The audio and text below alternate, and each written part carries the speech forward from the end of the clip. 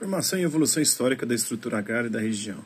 Procuramos a seguir delinear as bases históricas gerais em que se deu a ocupação do solo e a formação da estrutura fundiária do sul do Brasil e as transformações para as quais passa a estrutura agrária na medida em que a produção agrícola se incorpora de maneira mais estreita à produção capitalista em geral e à agroindustrial em especial.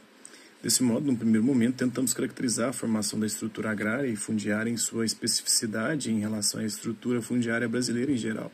para seguir explicitar as tendências básicas no tocante à sua evolução e às relações de produção.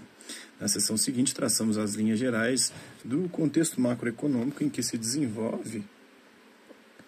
é, a produção agrícola, em especial, e de trigo e soja, que são os carros-chefes do tipo de agricultura e cooperativismo em questão.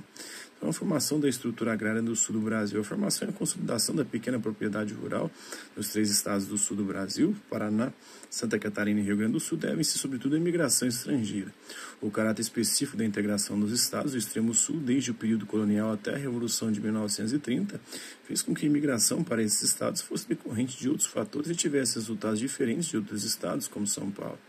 enquanto a imigração estrangeira para São Paulo visava basicamente o suprimento de mão de obra para a lavoura cafeeira no século XIX, que passaria a substituir a mão de obra escrava, para os estados do extremo sul, a finalidade básica da imigração era da ocupação efetiva do solo e a sua defesa.